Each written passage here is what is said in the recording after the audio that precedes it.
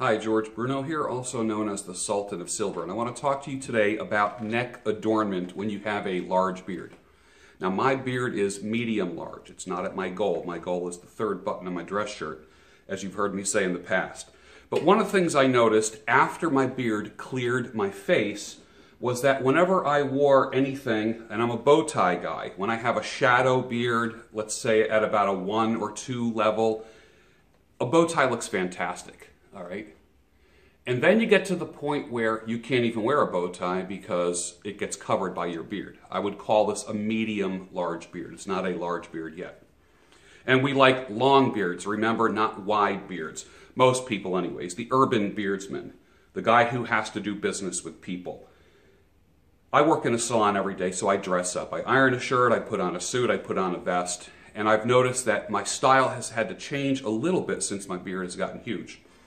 For instance, now, us beard guys, it's a compliment when someone looks around you and says, oh, you're wearing a bow tie. We like it when the bow tie is completely covered up by a beard. It's kind of a fun thing.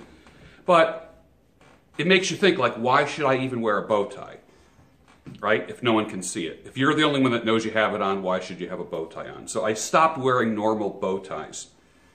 And also, one of the reasons is when you have something coming out from your shirt collar, we like a sleek look as, for lack of a better term, urban beardsmen. I'm not talking about Duck Dynasty or Oak Ridge Boys looking kind of beards, that kind of thing. And there's nothing wrong with that if that's what you choose. I choose a more uh, professional, I have to do business with people, so my image sells my product, which is cutting hair. But I find that when I wear a regular bow tie, it pushes my beard out. And when I turn, it kind of messes it up. And then I find myself just always kind of combing it down because I want a, a long beard, not a wide beard. So then I went from a, this is like a normal bow tie. I don't tie bow ties. I'm just too lazy, so I buy the clip-on ones. This is a normal size bow tie.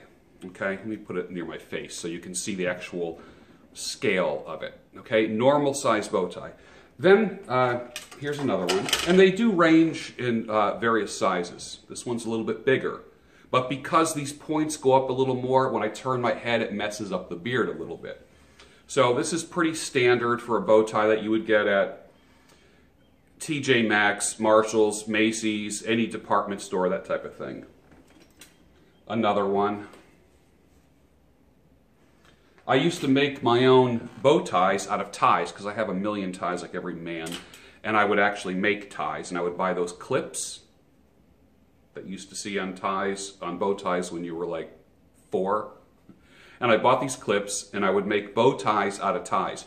When I don't have a beard or a very close goatee, these are fun. I just enjoy it, but it's huge and it doesn't work with a big beard. The other thing that works when your beard starts to get medium large is smaller bow ties. Here's standard bow tie you buy in a department store and a smaller bow tie. Here's an even smaller one. I don't know if you can see that. And for a while this was working for me because it could sit underneath the beard uh, or the beard would kind of sit on it and it wouldn't really interfere with the beard too much. And then it just got to the point where it was just kind of futile wearing a bow tie at all. And then I discovered Texas ties, which kind of, they work well with a vest and only with a vest because it looks stupid without one. And it's like a little bit of a Western look. And this, again, is a clip-on, but it goes like this. So it has like these ribbons and these tassels coming down. And that way, it's, it gives it kind of a Western look. Um, I like it, even though you can't see the tie part, these tassels are pretty good. Now, of course, when I'm trying to make a video, the fire engines are going by and the whistles are going off. I apologize for that. I'm not making another video. I'm just going to blow through this one here. Last summer when I tried making videos, the landscapers came by and I had like five guys with weed whackers and lawnmowers just buzzing around my house for an hour and it was driving me crazy and I just stopped. So I said, from now on, I'm tired of scripting all my videos. I used to script everything and put it on a teleprompter and cue cards and everything like that. And nothing ever worked out because I don't have a real studio where I can control the conditions. So that's the way that goes. But one of the best things that I've done is just go back to regular ties. No one sees the knot, they just see the tie. I don't know if you can see this. But a, a, nice tie coming down, and I tend to wear everything from traditional paisleys and florals to just funky stuff that looks like artwork from a, a kindergarten class. Ties work really well. The other thing that works well is buttoning the top button. When I don't have a big beard, buttoning the top button looks kind of odd, doesn't it? I mean, like you never button the top button. But one of the reasons why I do is when I leave it unbuttoned, these collars kind of mess up the beard a little bit. So when you button it, the beard falls down right over the collar and it looks pretty good, especially for me wearing a black shirt with the beard coming down. I think yesterday's video, um, the one with the cigars in it, I had a black shirt on so you could see the white beard. I like wearing things that are uh, contrasting colors to my to my beard. Now, now that my beard has turned white, I find myself wearing more darker shirts because it emphasizes the beard more. But today I'm wearing a, a white shirt, a vest, and a tie to work. So I'm going to put this tie on today before I head to the salon. The other thing that you can do, another option for neck adornment or non-neck adornment and how to deal with collars and necks when you have a bigger beard is there used to be a thing called a Nehru shirt. And there was another name for it, I forget, but it had some kind of like ethnic implication. So now we have to just like whitewash everything. We got to take ethnicity out of everything now. And they call it a grandpa collar shirt. Okay, grandpa collar. I never heard of that before until like the past five years.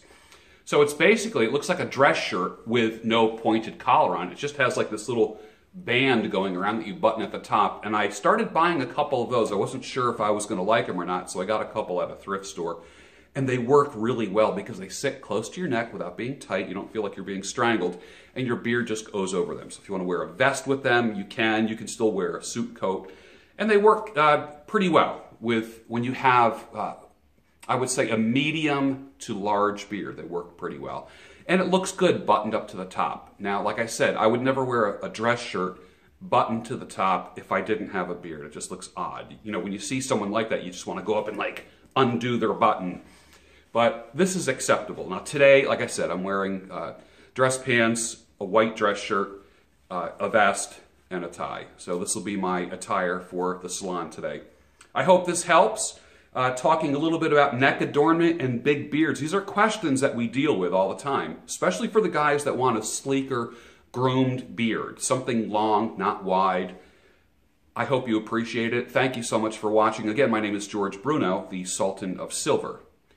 You can find me on Instagram at George A. Bruno, on Facebook as George Bruno Luxury Hair Experience, and my website, georgebruno.com. I would love to cut your hair or trim your beard, whether you're a man or a woman. Well, if you're a man, I'll trim your beard, hopefully not a woman.